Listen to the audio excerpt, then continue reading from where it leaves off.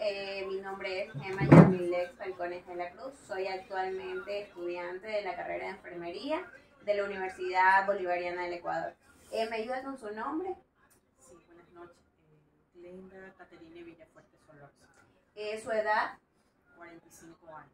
¿Visita al médico constantemente? Sí, según las citas que tengo programadas. ¿Es hipertensa? Sí, ¿Toma algún medicamento? Sí, actualmente la losartán de 50 miligramos, una en la mañana y la otra en la noche. Ok, perfecto.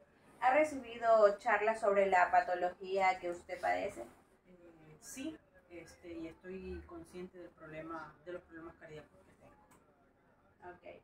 ¿Usted sabe las consecuencias de su enfermedad? No, Las consecuencias de su enfermedad puede ser la insuficiencia renal, eh, riesgos de sufrir ataques cardíacos, como también el accidente cerebrovascular. Este, vascular.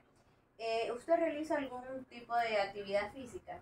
sí, actualmente, por ejemplo, en las mañanas utilizo caminadora unos 30 minutos antes de ir al trabajo y en la noche salgo a caminar o trotar con mi esposo y mi mascota.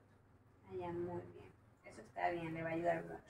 Le voy a recomendar eh, un mejor estilo de vida, saludable, que le va a ayudar mucho, como son este evitar las grasas saturadas, eh, no comer embutidos, esa eh, esos, esos alimentos, y llevar una dieta baja en sal, es lo que necesitamos. Eh, ante la presencia de cualquier síntoma, no dude usted siempre de visitar a su a su centro de salud más cercano, eh, ya que es hipertensa, puede llevar un control de lo que es su, su presión arterial todos los días, en la mañana y en las tardes, para que tenga un, un conocimiento de, de lo que es su presión arterial. Eh, yo le agradezco de antemano por haberme respondido a estas preguntas y muchas gracias. Gracias a usted.